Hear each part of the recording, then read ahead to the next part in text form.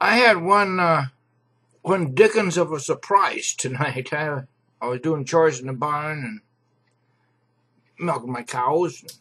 Here comes this guy, the one the one who I told you he he threatened me. And he's coming walking in with a box and stuff and oh boy. What he said, here I'm very sorry for what I said to you.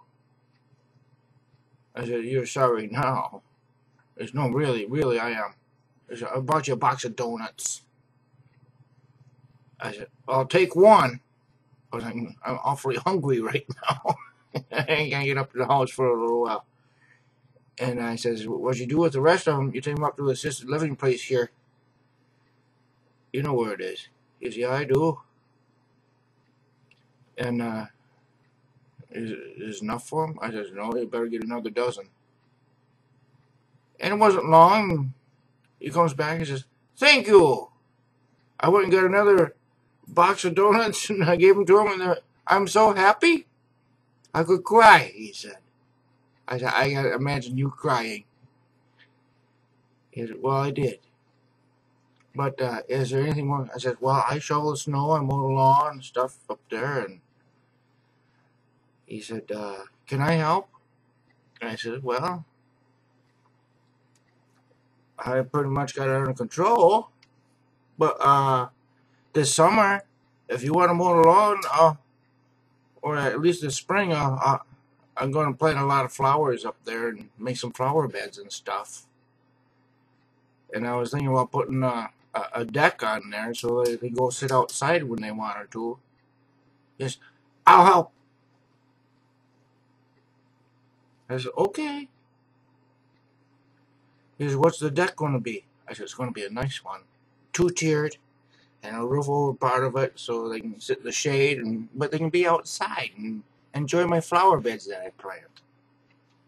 He said, you know, that's pretty nice, he said. He said, uh, I figure, he says, how much is it going to cost? Well, if I get time to do it, it probably cost me about three, four thousand dollars. He says, I'll pay for the lumber if you let me help you teach me how to build a deck. I just, I'll teach you. and I'll show you what, what it takes to make a good deck.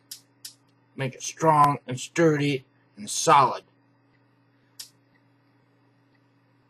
And uh, before he left, he says, Can I shake your hand? I says, Sure. I shake your hand. Says, You don't hold nothing against me? I says, Not unless it's a hammer or something when we get building that deck. he, he said, Ronnie, you're, you're a very nice guy. I guess I taught you right. I, I said, Well, I learned something from you. but anyway, now we're partners. We're going to help the old people up the assisted living place. We're going to build them a deck. He's going to buy the lumber, and we're both going to do the work. He's going to help take care of the place now. He said I taught him something. Well, I told you. I told you. Ronnie Boy's good for something. There you go. Goodbye.